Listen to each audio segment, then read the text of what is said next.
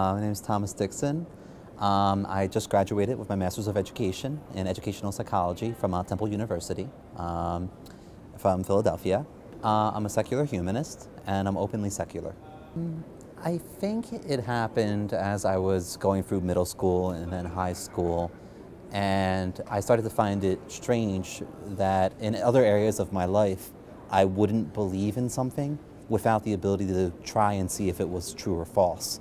So the fact that um, view was undisprovable, it was untestable.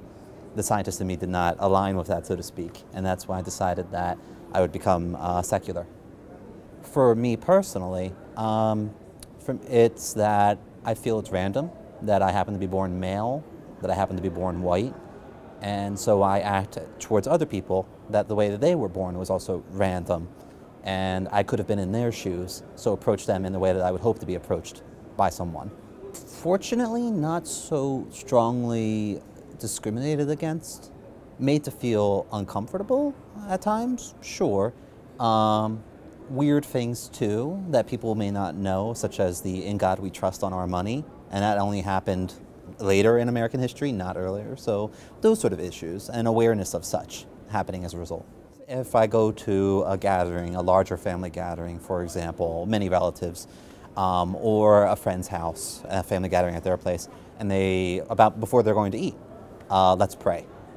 And then I have to hold my hands down and go, you know, count one Mississippi, two Mississippi, and sort of just wait for the moment to pass. Not bring up a huge argument or a fight, obviously, but let moments pass like that. Yeah, or after my accident, when I was hit by the car, that they, um, people told me that they would pray for me. And rather than get into a huge discussion of, I don't know what the utility of that would be, say, thanks for thinking of me. That's how I decided to go about it. You will, you will be treated some way, somehow, no matter what in your life. And none is a choice that you can make if that's what you're choosing to have no other views. Um, partly that's why I enjoy the label humanist and embracing that rather than atheist or agnostic. I feel weird in that way because we're defined by a negative. It makes no sense. Uh, I don't walk around saying I'm a non um, woman, for example. I, am defined as something else. So I think um, having a label and a group identity will help other than one that is defining in a negative.